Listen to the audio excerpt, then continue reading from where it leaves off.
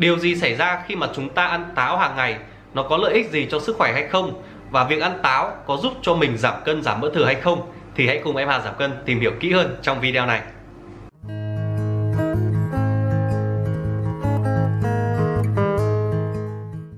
Hà giảm cân xin chào các chị và các bạn. Chào mừng các chị quay trở lại với kênh youtube Hà giảm cân.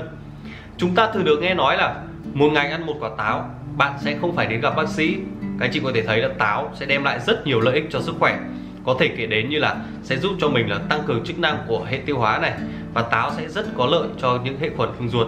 Đồng thời, táo sẽ giúp cho mình là bảo vệ sức khỏe tim mạch này, phòng tránh các bệnh lý về huyết áp cao, rồi mỡ máu, rồi tiểu đường, cũng như là phòng tránh đột quỵ. Ngoài ra thì hạt của quả táo được chứng minh là phòng tránh ung thư rất là hiệu quả. Táo đem lại rất là nhiều lợi ích cho sức khỏe. Tuy nhiên là mình hãy lưu ý là mặc dù táo đem lại nhiều lợi ích cho sức khỏe nhưng mà táo vẫn có tính axit nên là việc ăn nhiều nó sẽ không tốt cho răng miệng của chúng ta này không tốt cho dạ dày của chúng ta. Mình cố gắng là một ngày chỉ nên ăn tối đa từ 1 đến hai quả táo thôi. Đấy và táo bây giờ thì chủ yếu là táo nhập khẩu nên là thường là bề mặt của quả táo sẽ có những cái chất bảo quản. Khi mình ăn táo thì uh, mình ăn được cả vỏ thì sẽ rất tốt và nếu như mà mình ăn cả vỏ như vậy thì mình cần phải rửa sạch cái quả táo đi và sục qua ozone để đảm bảo an toàn cho sức khỏe của chúng ta. Thế còn những anh chị nào mà nhà mình trồng được táo thì rất là tuyệt vời mình ăn rất là an toàn cho sức khỏe của mình.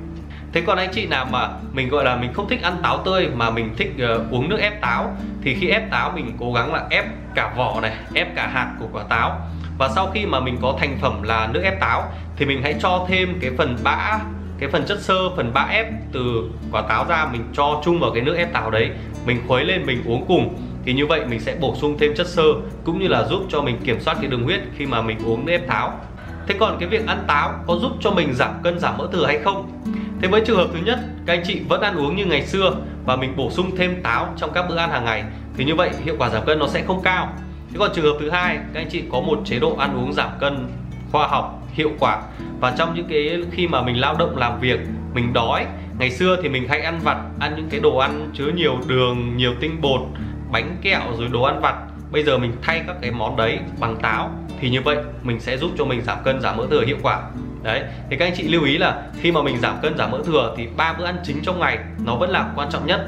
Thì táo nó chỉ bổ trợ thêm cho cái việc giảm cân, giảm mỡ thừa thôi và khi mà mình giảm cân, giảm mỡ thừa, các anh chị mà sử dụng được cái giấm táo thì nó sẽ đem lại hiệu quả giảm cân, giảm mỡ thừa tốt hơn rất là nhiều.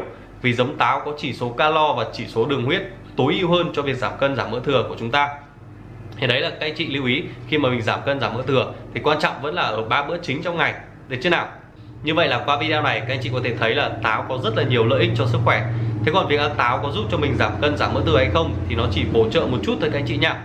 Em Hà giảm cân, cảm ơn các anh chị đã lắng nghe nếu thấy video hữu ích, đừng quên để lại một like, một đăng ký kênh để nhận được những video cập nhật trên kênh youtube Hà giảm cân. Em Hà xin chào và hẹn gặp lại các anh chị.